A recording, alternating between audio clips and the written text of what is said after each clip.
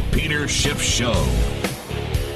Welcome back. This is Peter Schiff here at SchiffRadio.com here on the radio row of the exhibit center, exhibit hall at CPAC. And joining the show now is yet another Republican candidate for the United States Senate, Richard Mourdock, who is involved in a primary with uh, incumbent Republican Se- Senator Dick Lugar uh, from Indiana. I know Dick Lugar, Ruger has been around. How many years has he been in Senate? He's been in the United States Senate since 1977, 36 years. 36. That's a long time not to have a real job. Well, in, in Indiana, we like to make the point that uh, when he began his run for the U.S. Senate, uh, Peyton Manning was but a gleam in Archie's eye. So it's Yeah. been a long time. And of course, when he was elected, the United States was still the world's largest creditor nation.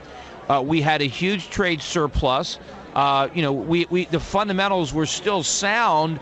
Uh, they were beginning to deteriorate, but we still had a very sound economy. So he was he played an integral role, role in destroying our economy. Exactly. This is a historic moment. You know, just in the last six months, we've had our credit rating downgraded for the first time ever. We've seen a 10 year yield on the Treasury bill at 1.7%, the lowest rate in all of American history. And we now see for the first time in peacetime, our national debt is equal to the gross domestic product. Yeah, and of course, moment. the gross domestic product is overly inflated by statisticians using hedonics, and it's all fluff anyway. It's all consumption. So if you look at our debt as a percentage of manufacturing, for example, I mean, it is off the charts.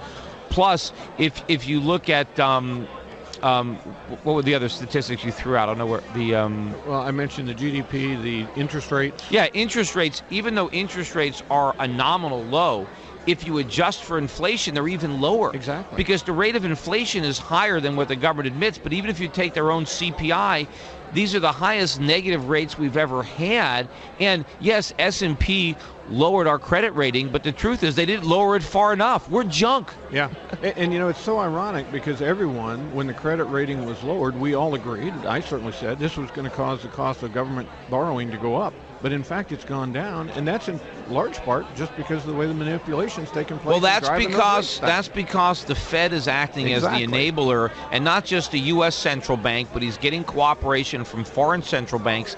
Everybody is buying up dollars in U.S. Treasuries, and that is sparing us of the consequence of our profligacy. But it's lulling us into a false sense of security instead of the market disciplining the government and forcing spending cuts because rates are rising. Rates are being held artificially low, so we borrow even more, and all we're doing is setting ourselves up for a massive disaster that's much worse than 2008. And when it happens, everyone's going to say nobody could have seen it coming, and of course, it was obvious. You're exactly right, and, right. And I know this is radio; it's hard to use a visual aid, but I carry this in my pocket. Yeah, you've got a Zimbabwe 100 trillion dollar bill, uh, which w- very well one day might say the United States on it. We can have a picture of Ben Bernanke on there instead of uh, you know uh, uh, um, uh, George Washington or Ben Franklin. It was a hundred, and it could be you know one of our trillion dollar bills. I- exactly. This hundred trillion dollar note of Zimbabwe is worth about five dollars and sixty cents. The official currency in Zimbabwe now Well, is the U.S. dollar. it's probably only worth five dollars as a collector's item. I don't know if Exactly. anybody would actually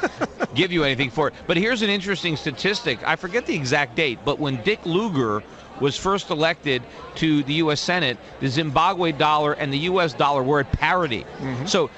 If you had a 100 trillion Zimbabwe dollar bill in your hand when Dick Lugar was elected president, you would have been the richest man in the world, and it wouldn't even be close. 100 trillion U.S. dollars. Imagine destroying. I mean, this probably was the equivalent of all the purchasing power in the entire world, World. that I'm holding in my hand. Destroyed, destroyed by a printing press. We've got the same press, We the do. same technology. Yeah, This is what happens when you try to spend your way to prosperity and you destroy your credit rating on the way. And it's a dangerous thing we are doing. And if they're using the U.S. dollar today after destroying theirs, it begs the question whose currency will we use if we destroy our own? Well, gold. We'll probably use nobody's, and you know that that's why you know I don't know if Indiana is one of the states that's trying to look into starting to coin money now, like the Constitution says, gold and silver. The federal government's not doing it. Maybe the states will.